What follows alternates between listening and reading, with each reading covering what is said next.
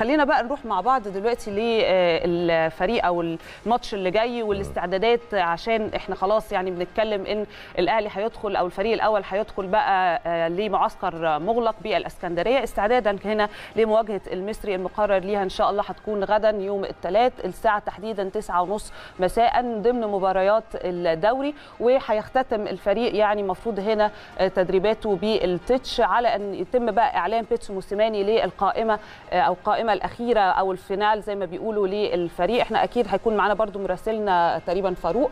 وهنعرف منه بالظبط إيه آخر الاستعدادات عشان ننقل لحضراتكم زي ما إحنا متعودين دايما يعني خطوة بخطوة أو بنحب ننقل الصورة حية لحضراتكم. وتفاصيل تكون أكثر دقة كمان بالظبط، من اللي إحنا بنقول. لحضراتكم. عليه معانا زميلنا العزيز آه، فاروق صلاح المتواجد حاليا في أهل الجزيرة. هيعرفنا بقى أخبار الفريق الأول لكرة القدم آه، في مرحلة ما قبل السفر للإسكندرية. يا فاروق كل سنة وأنت طيب آه، سعداء بوجودك معانا النهارده. واتفضل إحنا سامعينك. عرفنا بقى كل التفاصيل المتعلقة بالتدريب والسفر والحالة المعنوية واللعيبة بيقولوا لبعض إيه. أنت عارف بقى التفاصيل اتفضل. يعني في في البداية كل سنة وأنت طيب يا كريم كل سنة وأنت طيبه نهواند كل سنة ومصر طيبة بخير. يعني بنحتفل ولا زلنا بنحتفل بذكرى تحرير سيناء في ذكرى طيبة جدا على مصرنا الحبيبة. يعني أنا عايز أخد من كلامك يا نهواند وأنت بتتكلمي على فريق النادي الأهلي وبطولات النادي الأهلي. بيحكمها إن في إدارة. بالفعل طبعا الإدارة ليها دور كبير جدا وبال يعني بالفعل الكابتن محمود الخطيب النهارده موجود مع فريق النادي الأهلي في المران والتدريب الأخير قبل السفر إلى الإسكندرية لمواجهة فريق المصري في الجولة الخامسة عشر المباراة المؤجلة من الجولة الخامسة عشر للدوري المصري الممتاز. طبعا حالة معنوية عالية جدا بعد الفوز الأخير على فريق آه، إنبي. يعني ومعانا خبر صار بإذن الله لكل جماهير النادي الأهلي. هنتكلم على التدريب. طبعا النهارده الكابتن الخطيب وهو موجود بيوجه رسائل للاعبين بيرفع من الروح المعنوية للاعبين. الفريق طبعا بعد الفوز على فريق انبي بثلاثه أهداف مقابل هدف يعني واصل لتدريباته أمس ثم اليوم آه، وسط حالة من الروح المعنوية للاعبين من أجل يعني إن شاء الله الاستعداد لمباراة المصري ومواجهه المصري غدا في المباراة المقرر إقامتها في التاسعة والنصف على استاد برج العرب بالإسكندرية.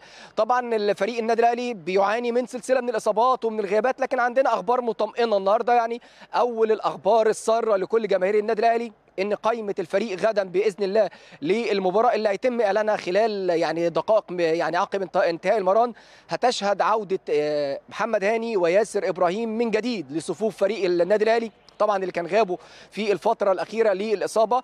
أحد الأخبار السارة النهارده عودة محمد هاني وياسر إبراهيم لقائمة النادي الأهلي في المباراة أمام المصري. وإن شاء الله من المقرر بإذن الله عقب مباراة الجونة محمود متولي أيضا هيكون جاهز للمشاركة في المباريات مع النادي الأهلي بعد تمام شفاء محمود متولي. يعني هنتكلم برضو على الإصابات ونحط المشاهدين في الصورة.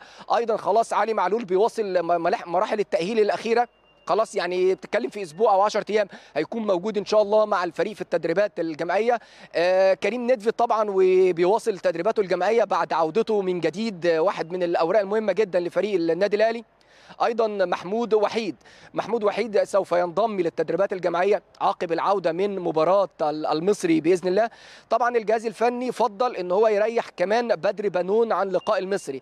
يعني آه، لقاء المصري هيشهد استمرار غياب أيمن أشرف وبدر بنون. اللي الجهاز الفني فضل إن هو يديله وقت كافي للراحة سواء لأيمن أشرف أو لبدر بنون. أيضا جونيور أجايبي واصل برنامجه التأهيلي وهيكون جاهز للمشاركة مع فريق النادي الأهلي. يعني إن شاء الله خلال أسبوعين هيكون موجود.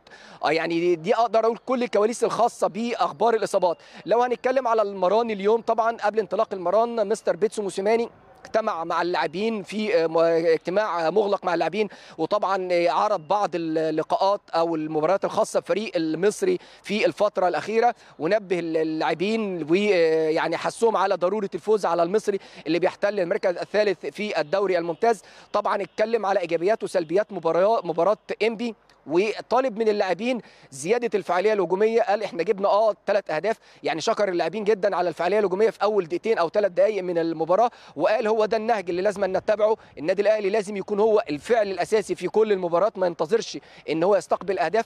لا يعني لازم إن إحنا نركز في الفترة اللي جاية. نحاول إن إحنا هدف واثنين وثلاثه وطالب اللاعبين أيضا بالتركيز على الكرات الثابتة اللي شفناها في لقاء إنبي قدر من خلالها إن هو النادي الأهلي يحقق هدف عن طريق عمرو السولية. ثم انطلق المران. طبعا شق بدني خفيف مع مستر كابيلو. ثم في الوقت اللي أنا بتكلم فيه مستر بيتسو موسيماني طبعا بيتكلم مع اللاعبين على بعض الجمل بالمناسبة المران مغلق تماما يعني في النادي الأهلي في الفترة الأخيرة عامل التدريب فيه سرية تامة. طبعا الكابتن محمود الخطيب قاعد بيتابع المران مع الجهاز الفني وبيجتمع مع الكابتن سيد عبد الحفيظ.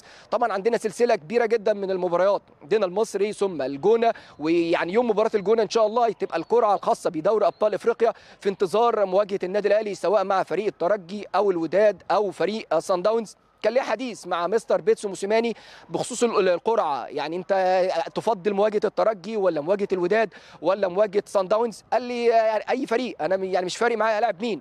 أنا النادي الأهلي وأنا بدافع عن لقبي. فأي فريق سواء الترجي سواء الوداد سواء سان داونز إحنا جاهزين لأي فريق. أيضا من الأمور المهمة جدا إن الاتحاد المصري كان أعلن طاقم التحكيم اللي هيدير هذا اللقاء. قيادة محمد الحنفي حكم الساحة. بيعاونوا. تحسين أبو السادات وأحمد حسام ومحمد العتباني حكم رابع اثنين حكام للفيديو محمود بسيوني ومحمود ناجي. من المقرر أيضا إن فريق النادي الأهلي هيكون ظهوره غدا بالرداء ال- الأحمر أو الزي الرسمي التقليدي للنادي الأهلي بينما نادي المصري هيكون بالزي الأبيض. أنا موجود معاك يا كريم موجود معاك أنا هواند لو في أي استفسار أو أي تساؤل.